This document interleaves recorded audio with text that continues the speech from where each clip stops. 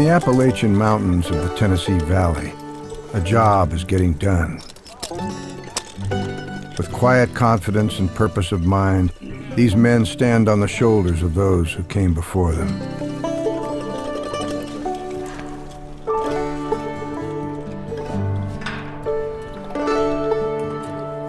Coming up on the hook. They work for something greater than themselves. They work for the people of the Tennessee Valley.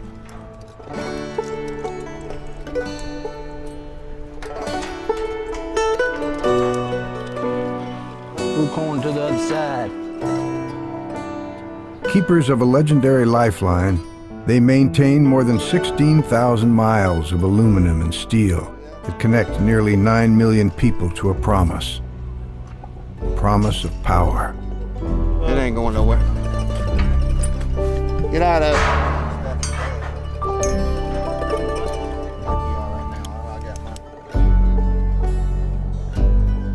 Promise started with President Franklin Roosevelt and a revolutionary idea called the Tennessee Valley Authority. Born to conquer the hardships of a rugged land and take the poorest part of the country out of the darkness.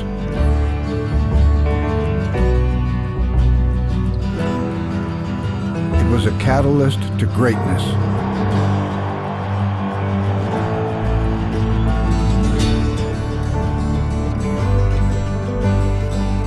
Over the last 75 years, the TVA's marvels of engineering transformed into a crusade to push the limit of what is possible.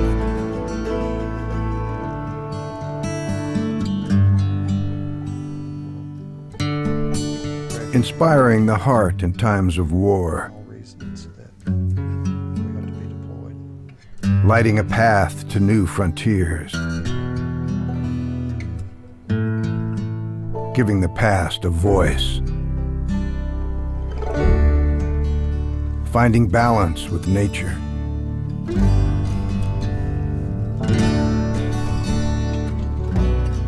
And returning pride to a region with a spirit all its own. History makes its mark on lives, one story at a time. These are just a handful of the stories from the valley. Each is unique, but the thread is the same. Woven together, they are a dream realized, a dream built for the people, by the people.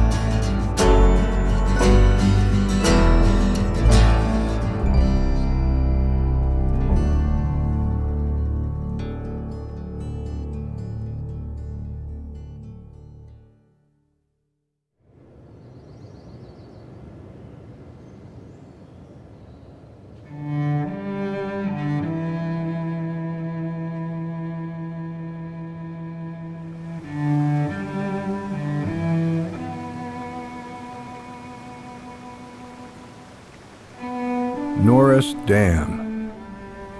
It was TVA's historic first dam. A hopeful promise. A revolutionary experiment. It was built to end a life or death battle the people waged against an unforgiving land. Beyond the dam's frame is Norris Lake. Deep beneath its surface lurks a history of sacrifice and loss. An entire world surrendered to the dam's rising waters. It is a world John Rice Irwin and his family once called home. When I see how different it is now than what it was, and I always look up at the ridges and the mountains on either side and, and think to myself, those are the same. And this part looks just like it did when the first families came in. And then, of course, I always think of uh, homes and the homesteads that, that are now under, underwater. John's family's home, like so many others, lies beneath the lake. He is one of the last people alive that remembers the sacrifices his people made. He communes with their ghosts. He keeps their stories and collects the things they left behind when the waters washed over their past. These were John's people, his family. Every object they touched reminds him of where he comes from. So much of their heritage and culture is disappearing, or in many cases, disappeared already. How can you uh, go into the future if you don't know what's happened in the past?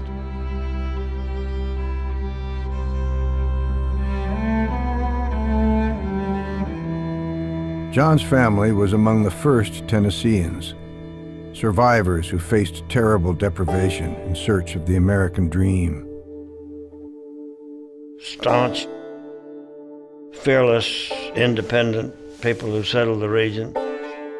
They came into the wilderness with nothing most of the time except uh, two or three tools and a rifle.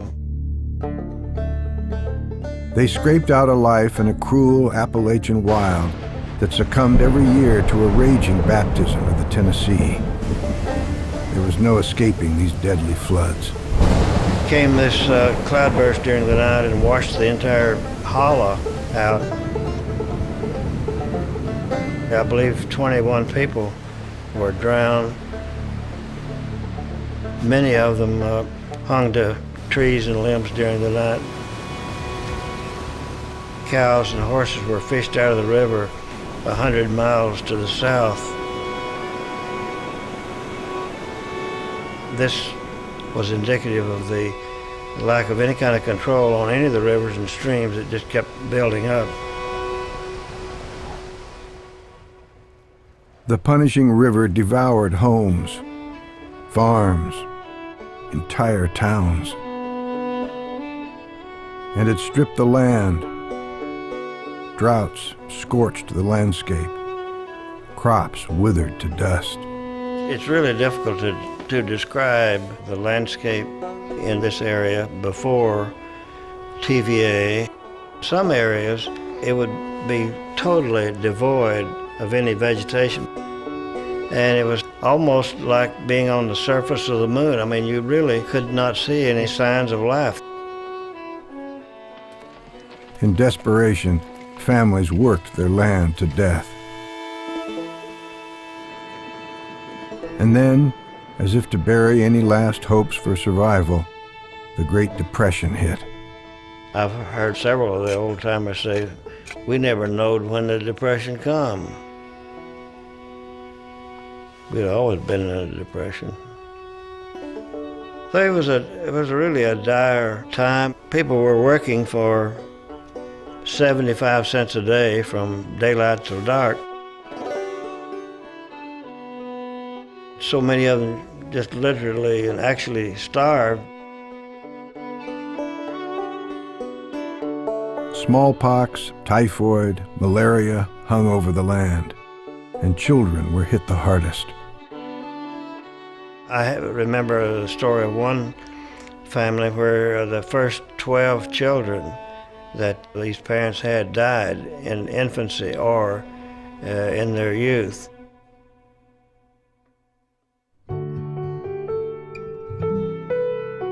At the height of the Depression, much of the valley was living 100 years behind the rest of the country, until President Franklin Roosevelt took a heroic step forward. In spirit, we join with millions of others, men and women and On May 18, 1933, he signed one of the first programs of his daring New Deal into being the Tennessee Valley Authority, the TVA.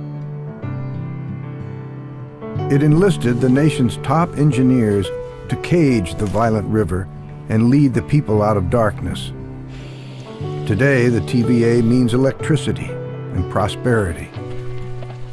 But in this time of crisis, it meant survival.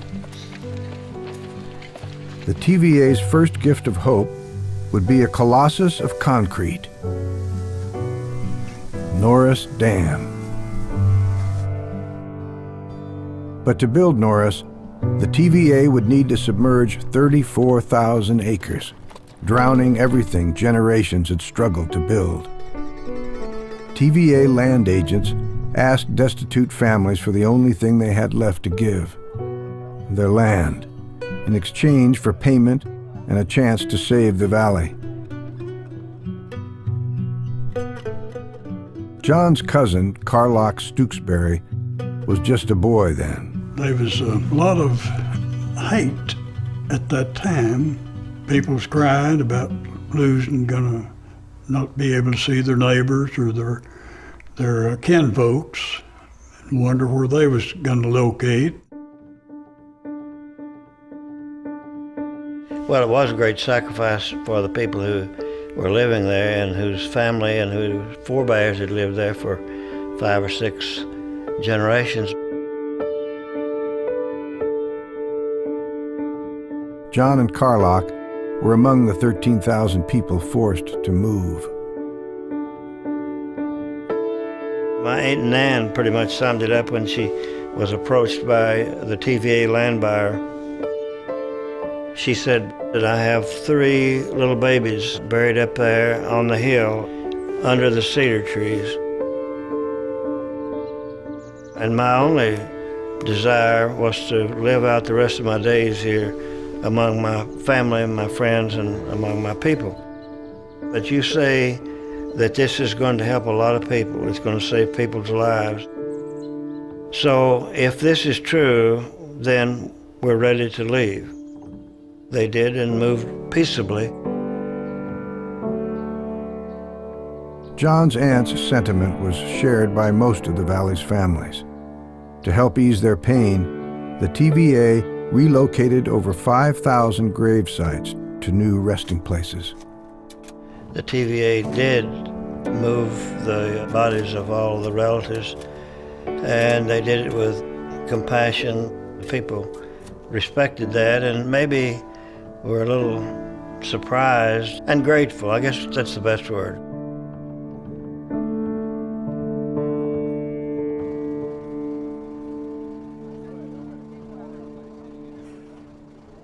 One by one, families packed their weary lives into trunks, wagons, and automobiles.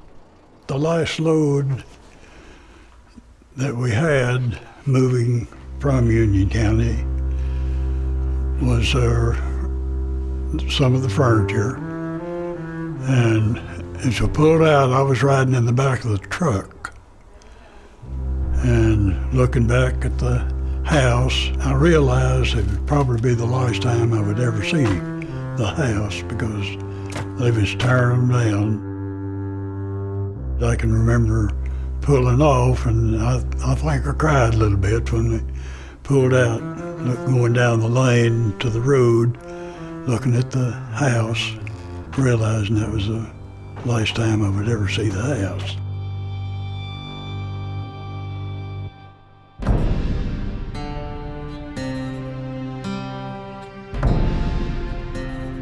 Finally, after great effort and upheaval, Norris Dam was completed in 1936. Its waters rose, and in a final all-consuming flood, a great people's sacrifice was sealed forever.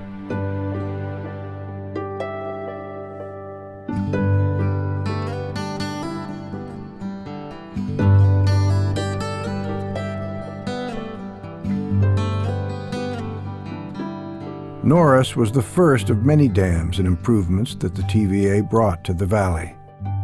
It was the beginning of taking a desperate part of our country out of the darkness and into the future. For John, Norris took so much away. But it also gave his life a purpose.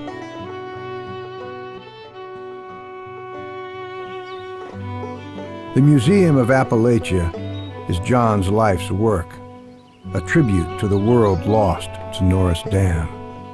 I've been asked a thousand times, uh, why, what inspired you? I guess if I had to answer one word, it would be the people. Uh, of all the people I've known, it's the mountain folks. It was sort of a tribute to them. And how terrible for a person to have a rich, productive life, a life that influenced so many people, and a person that was so loved, and to have them to pass on, and it was as if they never existed.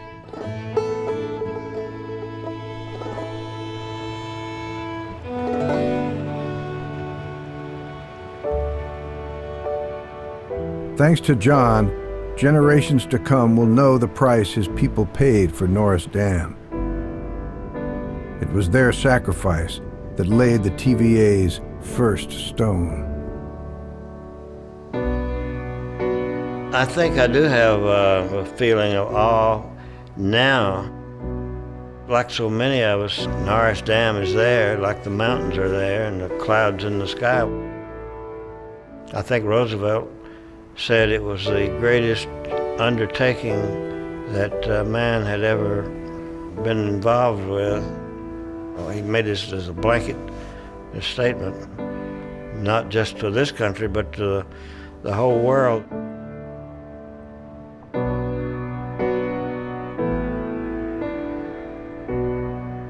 I think my grandfather was right in, in telling friends and neighbors and relatives that the TVA was going to bring about much more good than than the bad. I think he was I think he was right.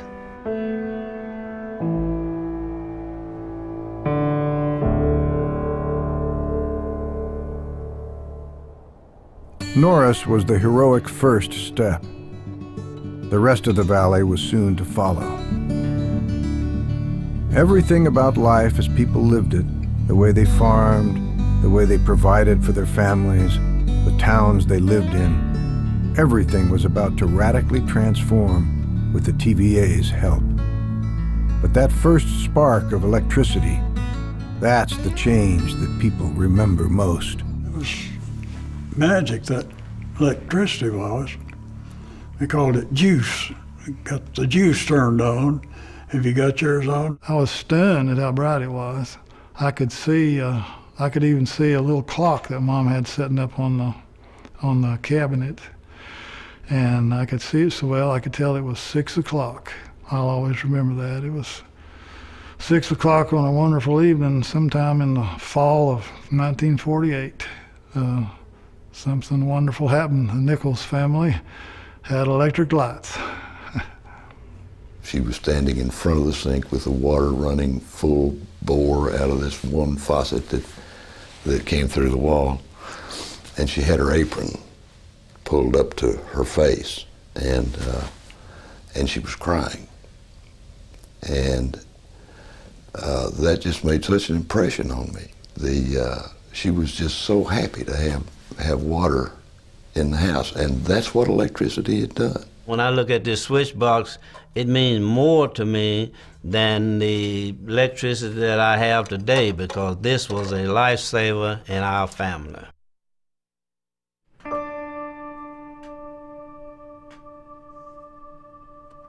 When Leo Cobb looks back on his life, among the things he cherishes most is his family's first fuse box, which he has kept for 70 years now. For him, it was not the first light bulb. It was the first open door. It represents his before and after, where he came from, and who he has become. I shudder to think what life would have been like had TVA not come. TVA made the difference in what we would have been and what we turn out to be. Leo grew up in rural Alabama in the 1930s. The color of his skin kept him from most opportunities, not that there were many to go around. His family, like most, farmed a dead landscape and lived in poverty of the harshest kind. Work hard, sun up to sundown, and you didn't have much to show for it. that was a hard life. But the day would come when hard work actually meant something. The TVA gave thousands across the valley the opportunity to work and to rise, to take control of their futures, and to provide for their families. Leo will never forget his first day at the TVA. I started with everybody else, and we all had the same chance. And that's one of the things that meant so much to me to be in on the ground floor, and I was able to either rise or fall on my own. And I found out that if you work hard, you get in there and try, then you can succeed as well as anybody else. In 14 years, Leo would work his way from gardener at the TVA's chemical plant into a position as its first black foreman. A lot of times at night, I would climb up on the highest point out in the plant where we worked, and I would think back and wonder just where I had been and where I came from and how far I had gone.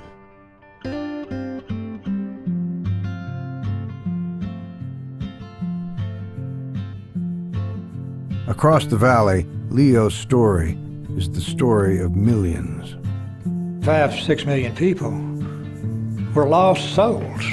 They saw no hope. They saw no way they were going to be able to raise their family and feed their family. They saw no way they were going to be able to educate their family. They were just there, destitute. And coming from that to, hey, I'm in control. It's on me. I can do it. I know how to do it. I've got the tools here to do it. I just have to do it. The tools weren't there before. And you, you saw in that short period of time the sort of the dignity of the valley. Just the T- TVA helped lift the dignity of the valley. Dignity came in the form of flood control, electricity, and running water. Thousands of new jobs, fertilizers, and better planting techniques for farmers. But these tools on their own weren't enough to change the complexion of a devastated region seven states wide in a few short years. You can't just go build a dam and create some electricity and that's going to make a whole lot of things happen. But that's not the story of why TVA worked. They had to get the entire fabric of the valley, people involved, and it was done by using that strange term partnership municipalities, taking people that they walked among every day and trusted to show them, demonstrate to them how this worked. The TVA created the power, but it was the local power companies that connected it to each home. Revolutionized farming techniques, but universities helped farmers understand them. It created jobs, but labor unions taught workers their craft. The TVA cannot take credit for changing the valley's course. It simply gave people what they needed to do it for themselves. This is something you can take. It'll be yours. It's not the government coming in as a welfare program and giving you something and feeding you. You're going to feed yourself. You're going to be able to provide for yourself. You're going to be self-sustaining. It'll touch your life.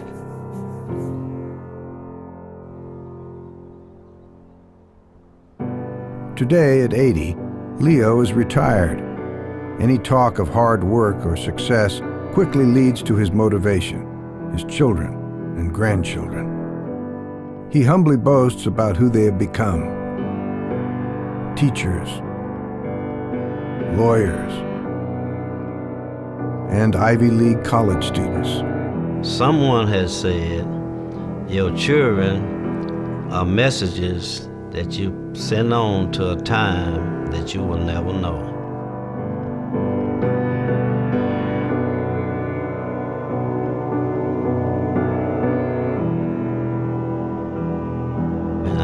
Proud that TVA was able to provide a better life for my family and me. And I'm able also I'm very proud that I was able to pass it on to my children, hopefully that they'll pass it on to theirs.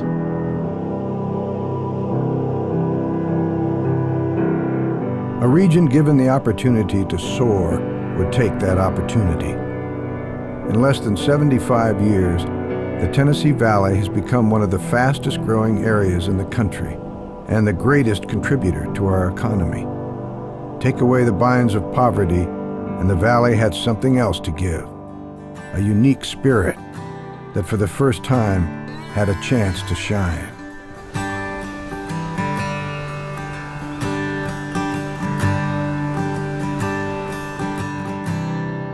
Wilson Dam.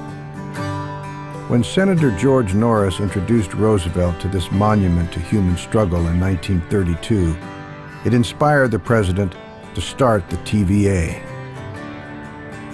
He saw the dam and Muscle Shoals as the first opportunity for progress in the valley. The first place that could be transformed and catapulted into the future. When the small town went TVA, it fulfilled dreams of a better life. And it did something else. It did something magical. It allowed a few gifted men to follow their dreams. The power that flows over this river put into motion a musical revolution.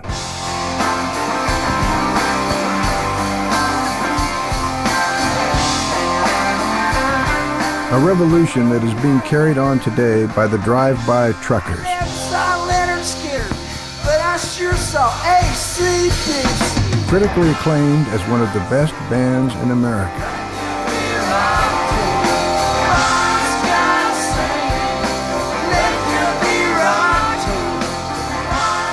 You might not think a rock star would talk about the TVA, but to Patterson Hood, the co-founder of the Truckers, the TVA was instrumental in shaping the sound of the place where he grew up.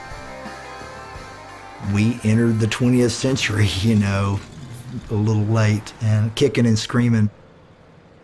It was one of the last parts of the country that still didn't have power. TVA brought power to the people. It's obvious to me that that would have affected and you know been a major cause of what later happened with the with the music thing out of Muscle Shoals. A music scene that produced some of America's greatest hits. A music scene that Patterson's father helped create.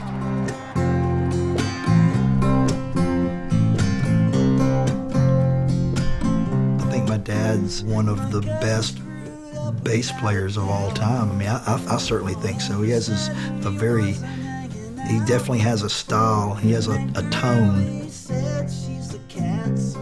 As the bassist of the legendary rhythm section called the Swampers, David Hood's cut more gold records than the Beatles and never had to leave Muscle Shoals to do it. Wilson Dam and the Tennessee River has been a part of my life, my entire life. I'm uh, so connected to this area that I don't know if I could really live anywhere else. My father left the Birmingham area seeking a brighter future, and I think he must have seen that that was possible here in Muscle Shoals, and that would have to be because of TVA bringing prosperity to the area.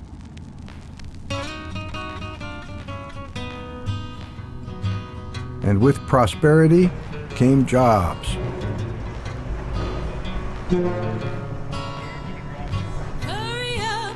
TVA workers like David's father, Smoky Hood, was one of thousands whose bare hands harnessed the power of the river at Muscle Shoals for the valley and to feed their own families.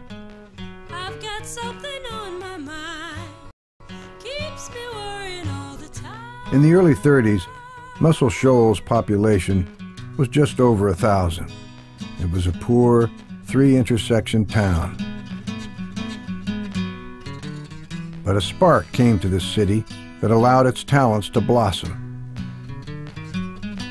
When the TVA harnessed the power of the river for electricity, they put the existing Wilson Dam to work and created a fertilizer industry that would revive the Tennessee Valley. It was so advanced that scientists came from around the world to know its secrets. Work was everywhere, and people were flocking to Muscle Shoals for jobs. In the early days, uh, during the Depression, uh, TVA was godsend. And it brought masses of people were standing in lines for a quarter of a mile long trying to get on at pushing a wheelbarrow or anything they could do to make a, a living and take, take home bread for, for their families. That hard work and determination uh, I think fueled the music business here. Suddenly, Muscle Shoals was on the map. TVA had helped transform this struggling farming community into a place where the American dream could come true. Where sons could dream beyond putting food on their family's table. In 1959, musician Rick Hall took a chance and opened Fame, Muscle Shoals' first recording studio. About the same time, a young bass player was dreaming about where music could take him.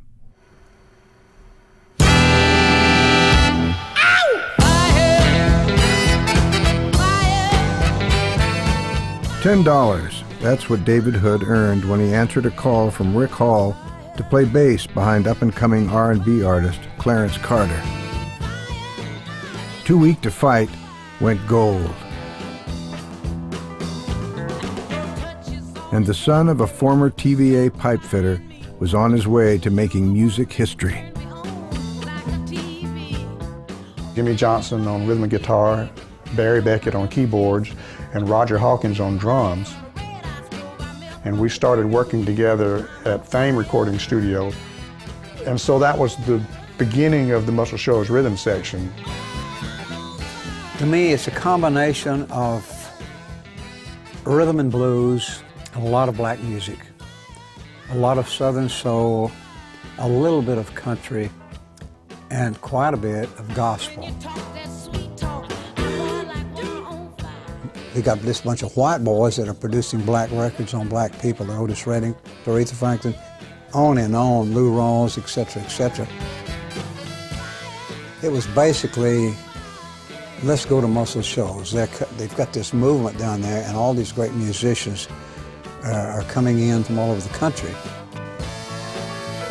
With a stack of hit records behind them, the Muscle Shoals rhythm section soon decided to strike out on their own and left Fame Studios for a new address, 3614 Jackson Highway. We bought a little studio and called it Muscle Shoals Sound. Forty years later, this tiny former coffin factory still stands after becoming the studio that forever changed the sound of American music. Guys from Lynyrd Skynyrd who had got, gotten their start with us decided to uh, pay tribute to us in one of their songs. They said Muscle Shoals has the Swampers in Sweet Home Alabama. And the name is stuck. The Swampers sound soon became synonymous with gold. When we got our own studio, uh, the Muscle Shoals Sound Studios, our first artist was Cher, then uh, Lulu, then the Rolling Stones came. After that, Bob Seger, Paul Simon, Art Garfunkel, Bob Dylan, Rod Stewart, we were working day and night, eight days a week. There would be one group coming in and another group coming in right after that, and people working at night. We worked all the time. Some weeks we would record as many as 40 or 50 songs or tracks for different artists. I think most of the people that came here were a little amused by the small town and redneck accent that they would hear, and our little studio was so small and kind of a funky looking little studio. I've had so many great moments, but ones that stand out, uh, recording, I love recording with the Staple Singers. Rolling Stone labeled I'll Take You There as the epitome of the Muscle Shoals sound, and David's bass line became that of music legend.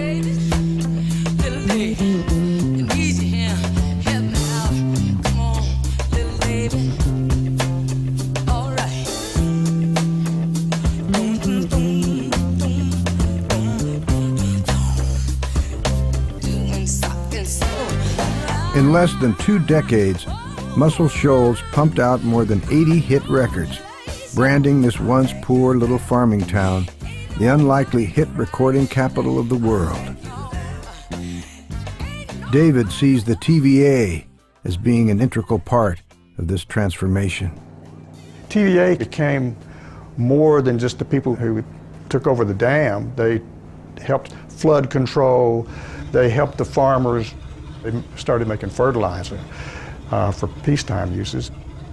They taught people about soil erosion. They had a bigger part in this area than just having a dam that made electricity. They tried to influence a greater part of the life here.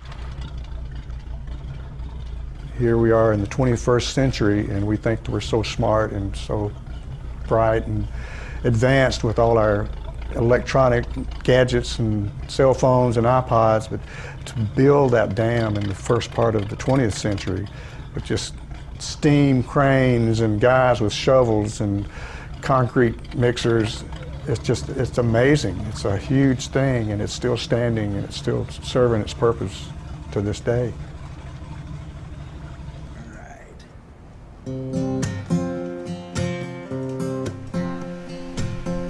Legacy is a word you hear a lot about here in Muscle Shoals. It honors accomplishment, hard work, and carrying on the spirit of a people that changed their own course.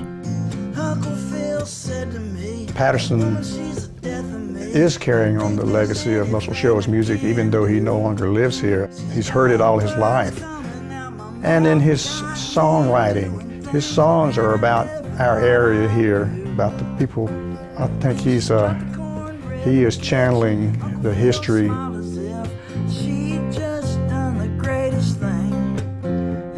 driving across driving across Wilson Dam is how I know when I'm home, you know.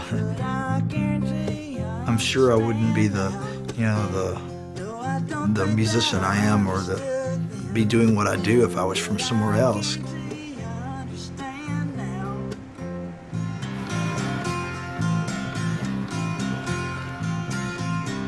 TVA sort of it brought progress to an area that, you know, didn't have that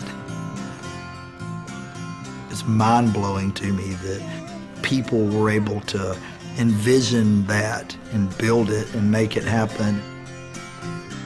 I don't see any way that, that Muscle Shoals could have become the music mecca it became had it not been for TVA being there.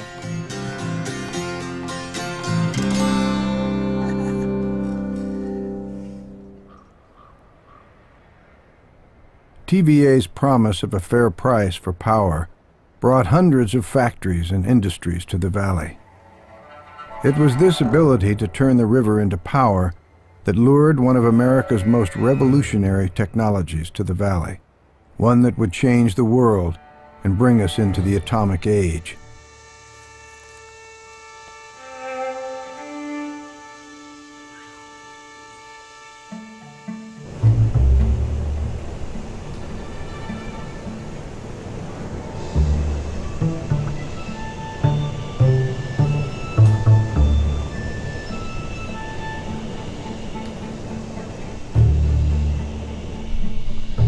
Natives pricked their ears. These descendants of old pioneers lifted their heads to scent the wind. A frontier was a borning. Many had to pack up hearth and home and go, but others joined the energy that flowed toward Black Oak Ridge as to a great magnetic power.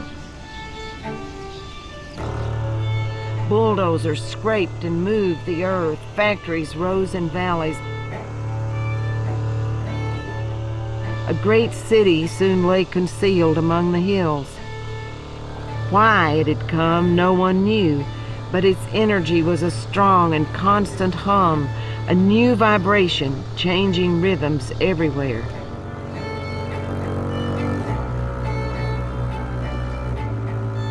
The mystery deepened, the hum grew stronger, and I longed to go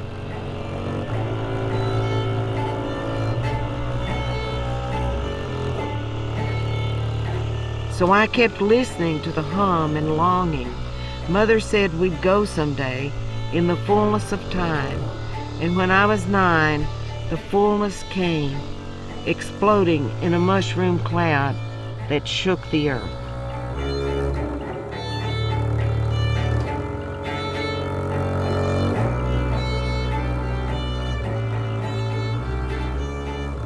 Half Cherokee, half Appalachian, Marilou Awiakta is one of Tennessee's most respected modern poets. Gloria Steinem praised Awiakta as one of the rare writers whose words help readers see the world in a different way. Unexpectedly, this government nuclear testing facility, Oak Ridge, built during World War II, powered by the TVA, birthplace of the atomic bomb, is forever woven deeply into the fabric of this poet's life. The atoms so riding on the crest of TVA's waters, came into my life at nine years old. It's hard for me to imagine what my life would have been as a person and as a, a poet had there not been electricity and great waters here to bring the atom.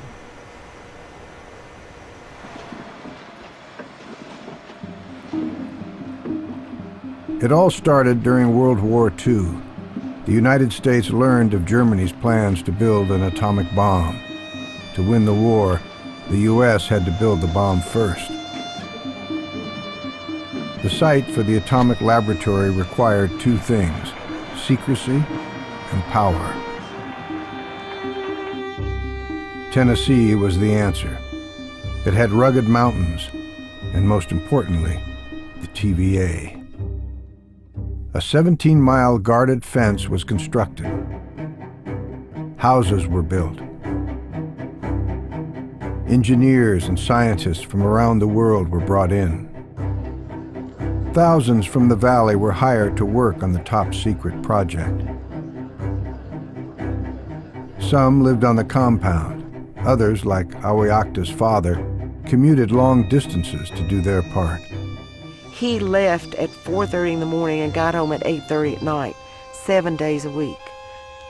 I wondered what Daddy did, but asked him, and he said not to ask. He could not say, he could not describe it, he could not tell me any of us where he worked. I had no idea what he was doing. No one in the region, no relative, nobody anywhere knew what the secret was. They only knew that something secret and big was going on.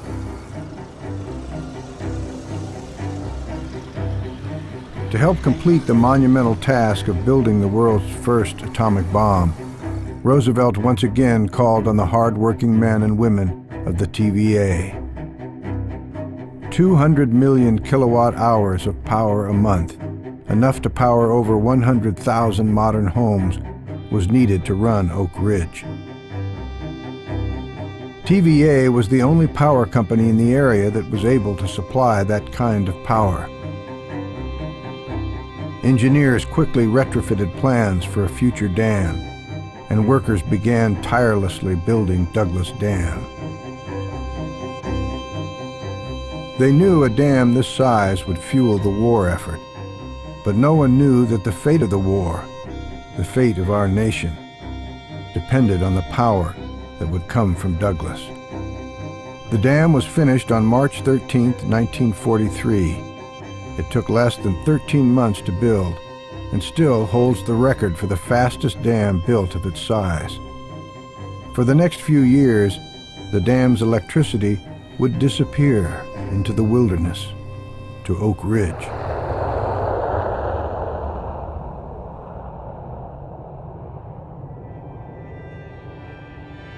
Then, on August 6, 1945, in a flash of radiation on the other side of the world, Oak Ridge's secret was revealed to mankind.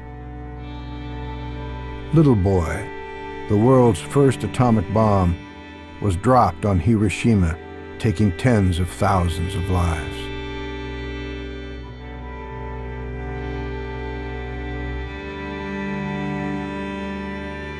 The place Awiakta's dad was working, the place that Douglas Dam was built for, the place where the TVA's power lines fed, created a power that forever changed history. Located at Oak Ridge, Tennessee, near TVA, one of our biggest sources of water power, is the largest of the three atomic bomb plants. With the birth of the first atomic bomb, Oak Ridge continued to grow, developing crucial research on atomic weapons and unlocking the potential of the atom. The research required more and more power, and the TVA was able to meet the demand.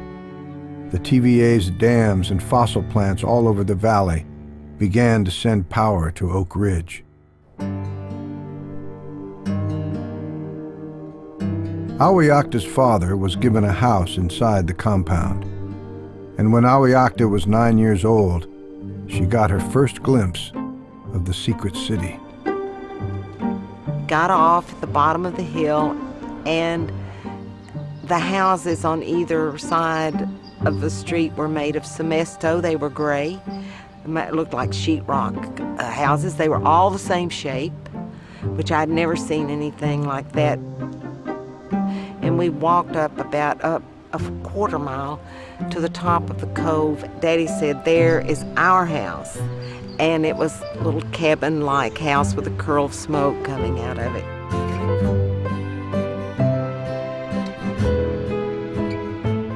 Coming from a small apartment in Knoxville, Oak Ridge was something more out of a Norman Rockwell painting than a top-secret government facility.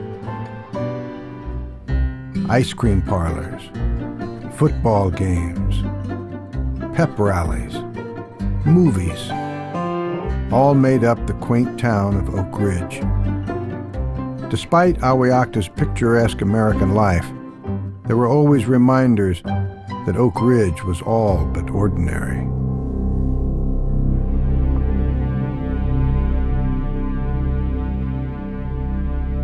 If you saw a sign that had the sign for radioactive material buried here or radioactive past this point, you did not go beyond the point.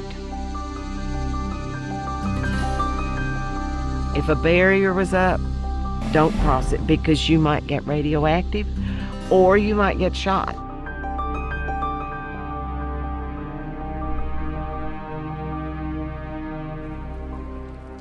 Thirty thousand people lived in the fifth largest city in Tennessee that was not on any map.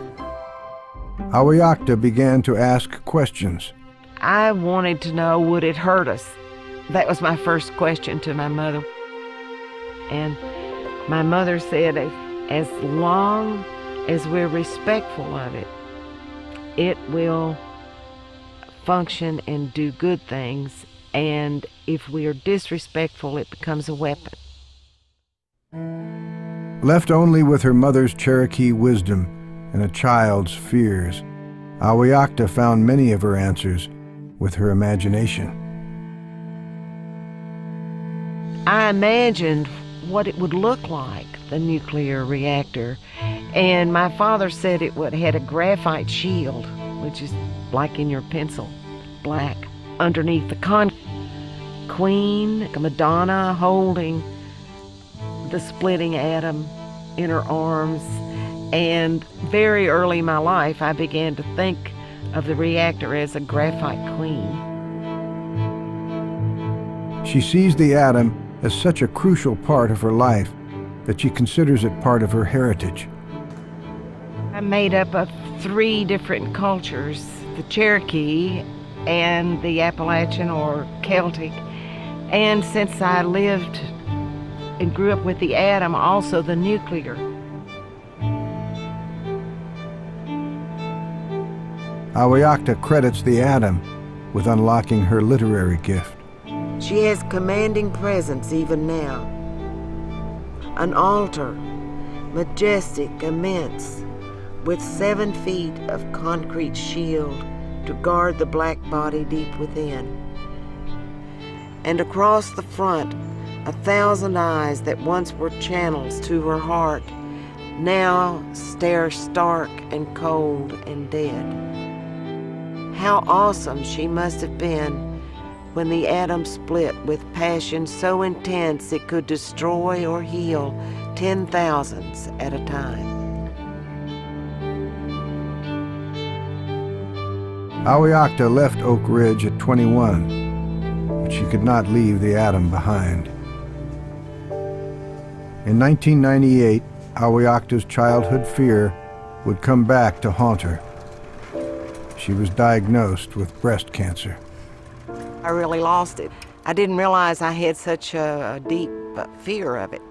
And so my husband and I walked in the hospital and it said radiation therapy basement and I and I just lost it. I said, "Oh, oh, you know why it's in the basement. It's in the basement so that if anything happens, it won't come up to the other floors." I said, "I just don't know if I can do this." You know, and and I was terrified.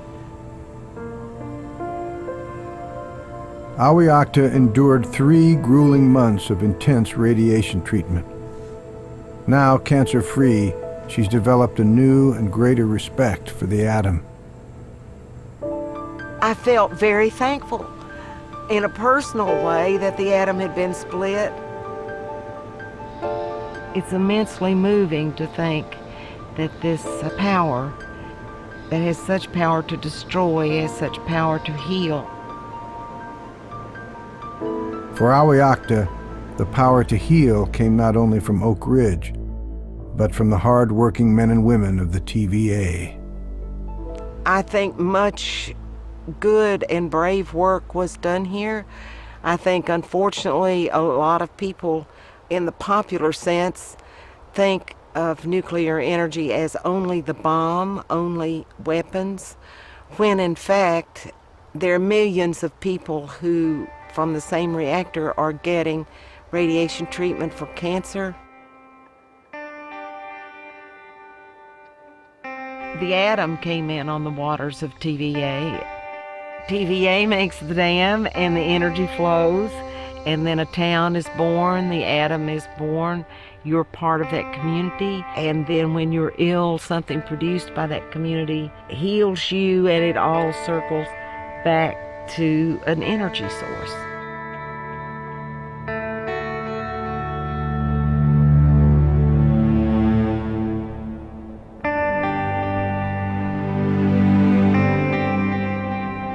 Harnessing nature for power is a privilege that has not always been without controversy or mistakes.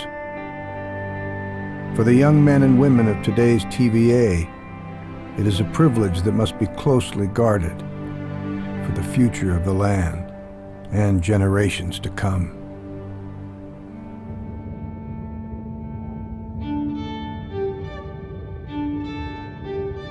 When I put a mask and snorkel on and and you know working in the river and looking underwater it's a completely different world doesn't bother me to get wet cold dirty as a aquatic biologist it's what you do you just dream about going to the river sometimes it's hard when you close your eyes at night to get those mental images of fish or whatever you've been looking at all day out of your head Jeff Simmons is a biologist and an unlikely TVA employee. His job? To watch over the rivers and get a very special little fish off the endangered species list. Well, I've been fortunate enough at TVA to get involved in a project to monitor a species called the blue-masked darter. These rivers have so much biological diversity because they're so old uh, these fish and other animals that live here have, have it's taken millions of years for them to get to where they are now. I think it's great that TVA's doing work towards species restoration, especially since TVA has had a history where TVA was going to have a serious impact on endangered species, and now TVA is out there sending biologists to provide information on rare species to find ways to make sure that whole ecosystems stay together and that these rivers don't just fall apart. Once, the TVA had less need for biologists like Jeff. But about the time Jeff was born, another little fish made a famous last stand against a dam. In 1978, Tellico Dam became a battle line. One of the TVA's smaller dams, it sparked a giant controversy. Tellico would save no lives. Its main goal was not power, but recreation and opportunity. It would drown almost 16,000 acres. Tellico's lake was to be a playground, its shores a lure for business. It was a hard sell for many. For some, it was unforgivable. Cherokee Indians losing sacred sites. Environmentalists losing a life-giving river. 300 farmers losing priceless family land. They did what none had ever tried.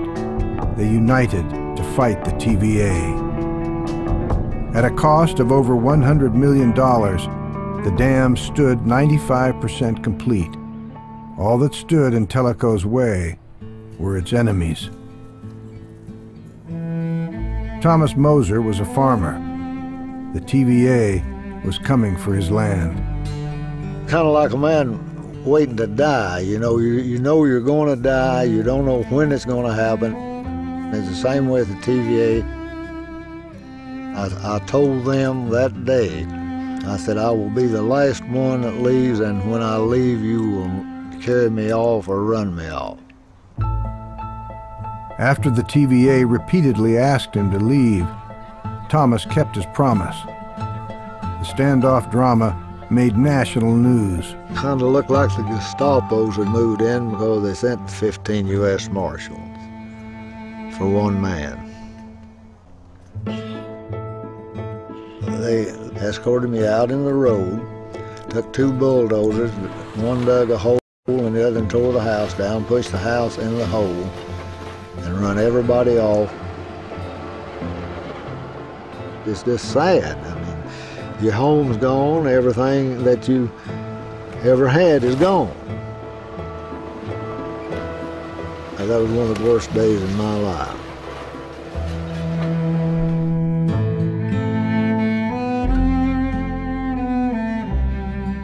To me, they'll always be the damn TVA.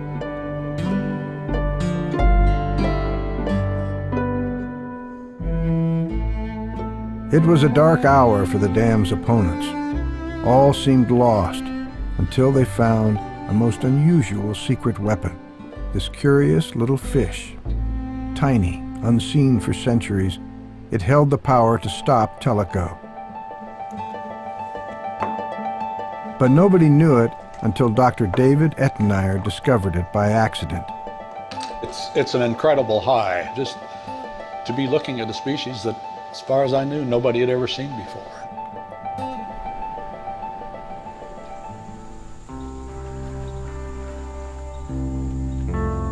I carefully walked over to a little island. And I cradled it over to the sandbar and put it in about a gallon jar with some water in it and kept it alive. We were parked at a, at a farmer's place. He'd given us access to the river, and he was very, very upset about losing his farm to condemnation proceedings by TVA.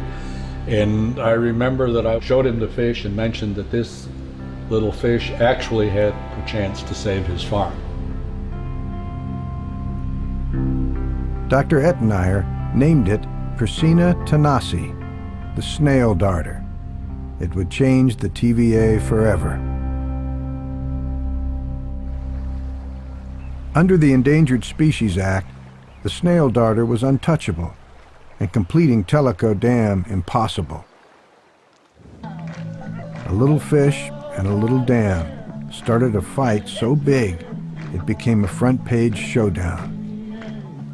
Tellico's battle line reached Washington, D.C., where Tennessee Senator Howard Baker saw things in a different way. A group had a press conference in Knoxville, as I remember, and announced that they were going to use the Endangered Species Act as a device for stopping this dam.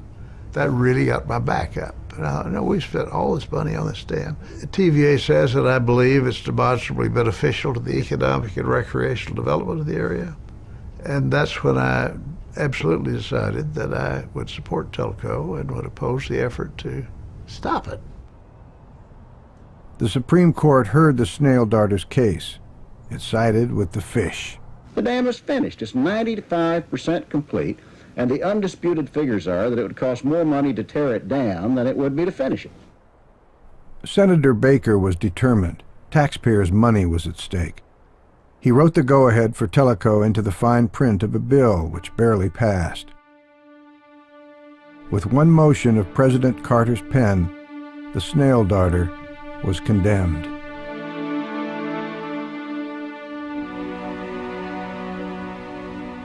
It was uh, just a huge letdown. We thought that we were fighting for a noble cause. We still think we were. We still think we were right. We had lost because of political manipulation. The historic struggle ended with the flip of a switch. Tellico's gates closed on November 29, 1979.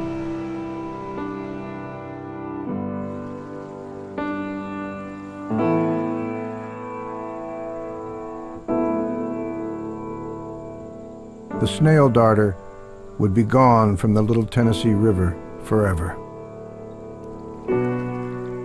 For, for an ichthyologist, it's, it's akin to how an ornithologist would feel in seeing that last passenger pigeon die in a zoo. Uh, it's over.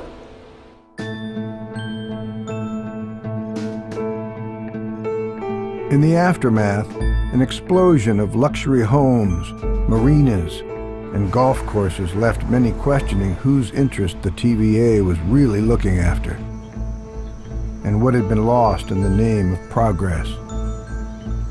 If you look on the Tellico Lake, you'll see the silos, the remains of, uh, of farms in days past. It bothers me to see them because I know what they stand for.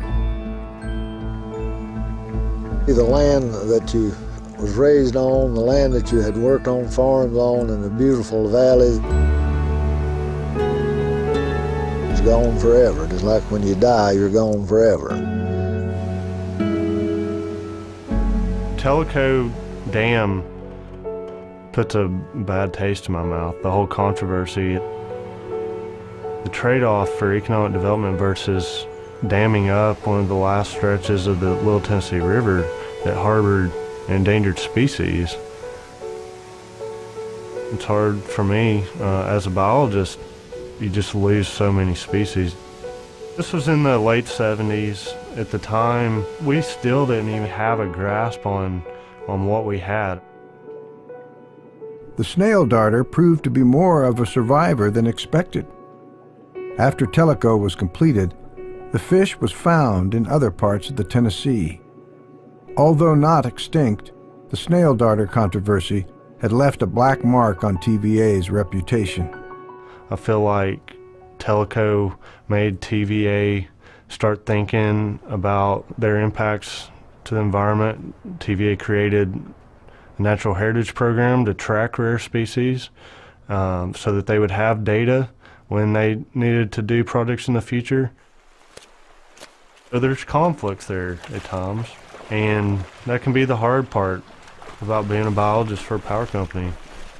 TVA is a power company, but it has other missions, and, and that's why I'm here. Today, Jeff is one of over a hundred TVA biologists keeping a watchful eye on the Tennessee Valley's thousands of rare species. I'll hear about places like the rainforest and about the habitat loss there and how we need to save those areas. Well, this this region is, is very similar. There are more species in Tennessee, fish species, than all of Europe. It's a biological hotspot. And that's why I get sort of frustrated sometimes about how quickly things can disappear. And there's so many species that are in trouble here that there's a, a lot of work that needs to be done.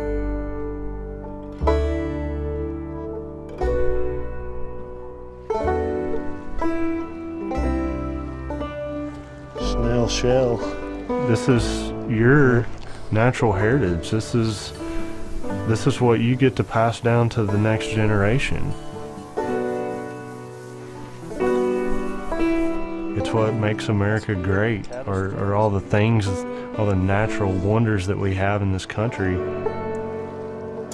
I feel that I am working for the people of the United States of America because TVA has a commitment to the people of America so that they'll be able to enjoy enjoy these resources where they live in the Tennessee Valley.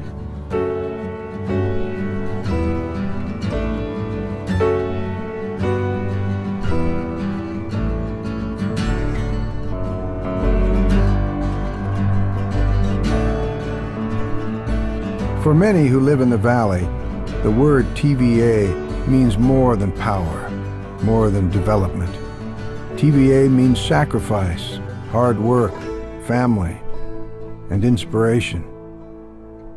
To the brave men and women who laid the TVA's initial foundations, the TVA was also about rising to an occasion when the whole world needed our nation's help.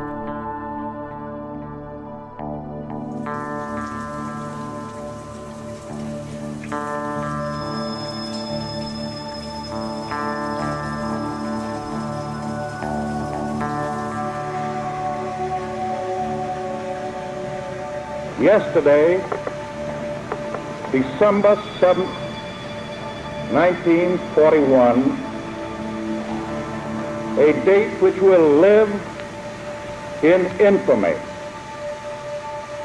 I regret to tell you that very many American lives have been lost. We shall not stop work for a single day until the war is won. The American people in their righteous might will win through to absolute victory.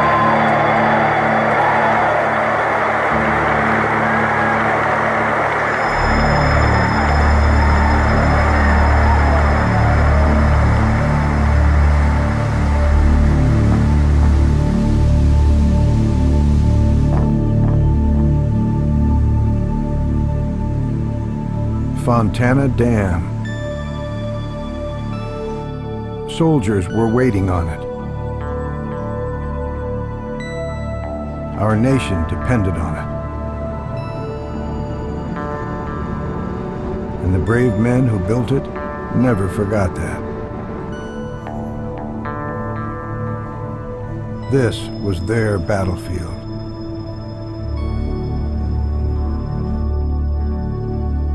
Jim Poston comes to Fontana to draw strength from his grandfather. Every time I go to Fontana, I, uh, I look at the structure and I think about you know what it took to to build that and I think about the men who did that including my grandfather. My grandfather to me was was one of my heroes growing up. And he'd tell me stories about uh, building the dams at, at TVA and then during World War II that the country was one and, and everybody had a strong devotion to duty, service to country. Uh, I think those were those weren't just mottos and slogans; they were they were a way of life for those people.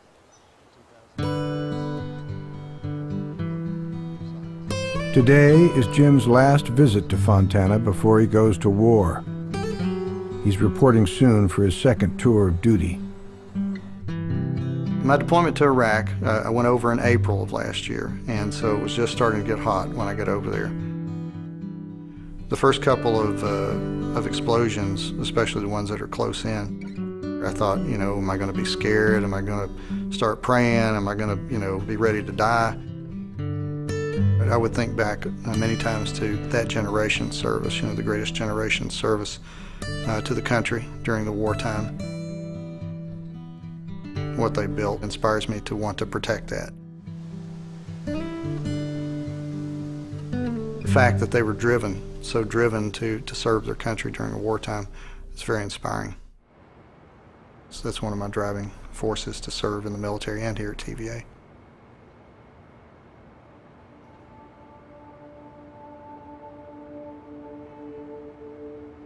Serving the country and valley at the TVA has been a Poston family tradition for three generations.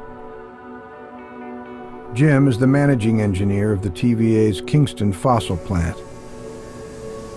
I think on a routine basis, we make things which are seemingly impossible possible, just as the workers of Fontana did during the war. There's a lot of hazards here. There's a lot of electrical hazards, high, high energy steam, um, high pressure water, gases, poisonous gases. There's all sorts of ways to get hurt out here. We make it through, you know. There's a special feeling working here at TVA. Um, you know, part of it's a family connection I've had, but but also it's it's uh, it's just a feeling of belonging to something bigger than than yourself. May I have your attention, please? I would like to remind everyone that Jim Poston will be returning to active duty with the United States Navy. This is Jim's last week with us, so please take the opportunity to shake his hand and wish him well. Good luck, Commander Poston. Thank you, Liz. appreciate what you Sure. for the country and how much sacrifice you're actually making. Thank you. Thank you very much, Liz. Good luck to you, Jim. Bob, thanks, Bob. Appreciate it. Be careful, and we look forward to seeing you back. Appreciate you, Jim. Thank you, bro. Appreciate. Tomorrow, Jim leaves to serve his country, as his grandfather did before him, over 60 years ago. Thank you, Dave.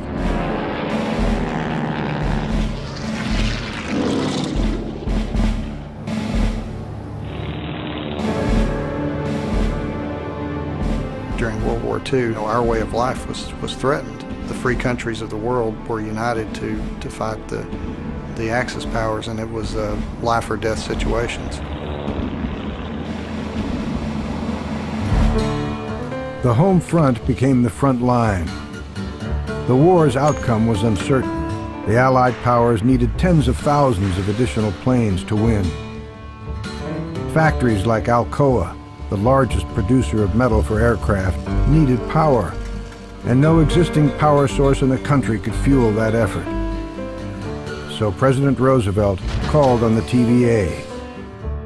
And the TVA called on men like Jim's grandfather. Just three weeks after the bombs dropped on Pearl Harbor, he joined an army of 5,000 workers. Only a handful of those workers are still alive. One is Harvey Welch, who was only 16 when he started working on Fontana. We've been attacked, people have been killed, and we knew that we had to sacrifice. Uh, they were way ahead of us. We didn't have all of the bombers. We didn't have all of the uh, war equipment that, that we needed. And uh, that was why the dam was so important. You had to sacrifice a little bit for it because we had relatives, friends, brothers were killed during the war. The challenge these workers faced had never been put to any other men. But they dared to sign up for the impossible. To help their brothers overseas, they would have little more than a thousand days to clear and construct TVA's greatest dam to date in one of the most inhospitable and cut-off areas of the valley. They needed steel, but wartime America had little left. They needed concrete, but the only rocks available lie beneath the Great Smoky Mountains. The TVA turned to what the valley had to offer. The resourcefulness and grit of 5,000 men who would never say die.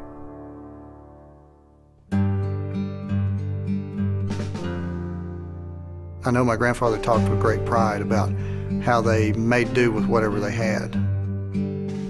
A lot of innovations at Fontana that were developed uh, kind of on the fly because of the um, absence of building materials you would normally have in a non-wartime situation. In place of steel, the men built Fontana's colossal frame from trees.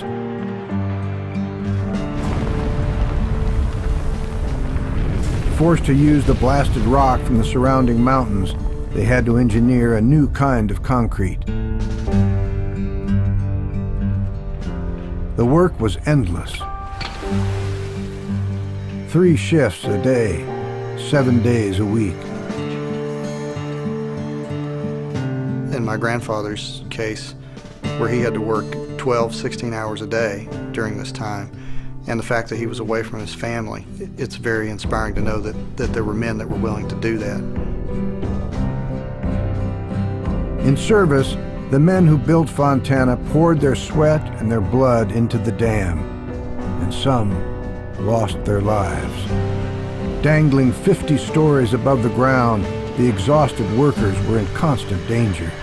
There were several people killed in the, in the building of the dam.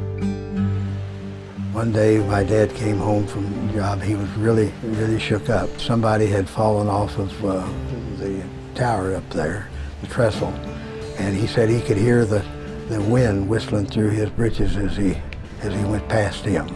Went on down and was killed on the, on the surface of the dam.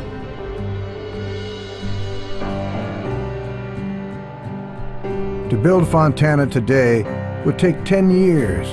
The largest dam east of the Rockies was built in just three. Harry Scheinert was just a worker of 16 when the dam was completed. When the dam was finished, uh, my dad walked in. And uh, he got emotional just like I am right now. He said, it's finished. The workers at Fontana delivered on their promise. 50,000 fighter planes were put in the air just in time to help win the war.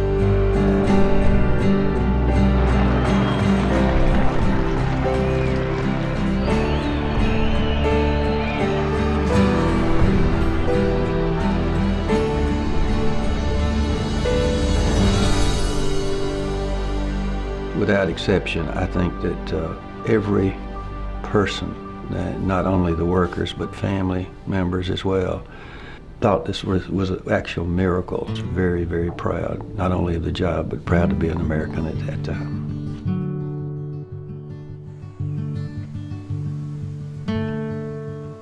The hard work and devotion that, that those men gave uh, of their soul, of their very self, uh, to serve their country in a wartime, uh, it's an inspiration for any of us. But particularly for me and my family, it's, uh, it's a source of pride for me to see what my grandfather had to go through, what he was willing to do to serve his country and help his family.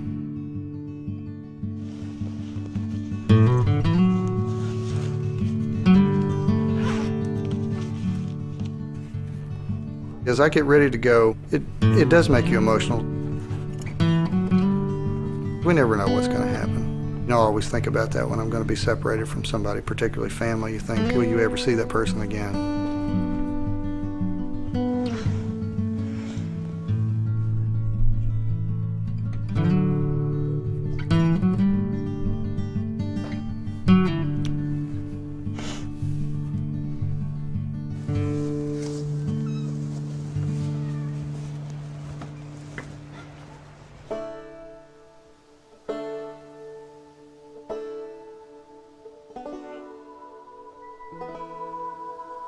Like to use the term standing on the shoulders of giants, and I think that's true.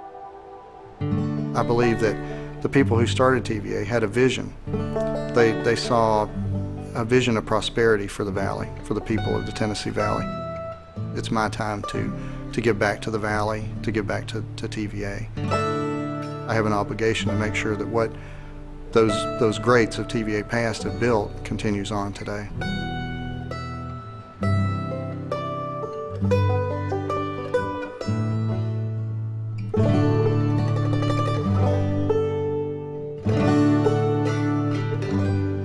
Of the great men and women who laid the valley's foundation stands tall today.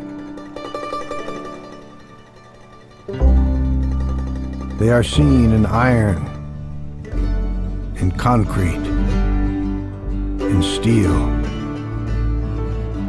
reaching towards the sky, touching the depths of great waters, electrifying the air. Behind each rivet, each beam, each wire, lay countless stories of the people who became a part of the TVA's vision of hope and change. Forever part of the Tennessee Valley landscape, they are testaments to a remarkable revolutionary idea whose future still lies in the hands of the people it was made for. The people of the United States of America. The people the Tennessee Valley.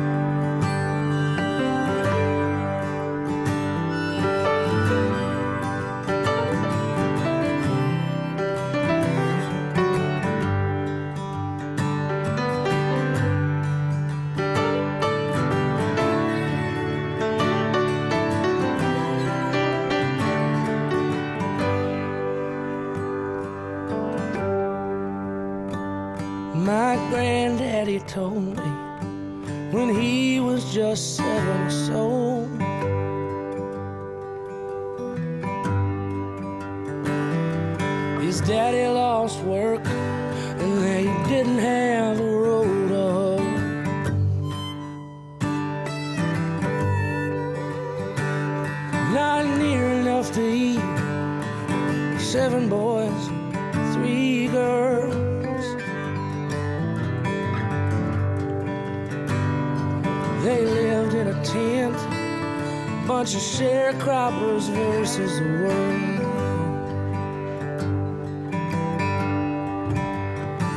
So his mama sat down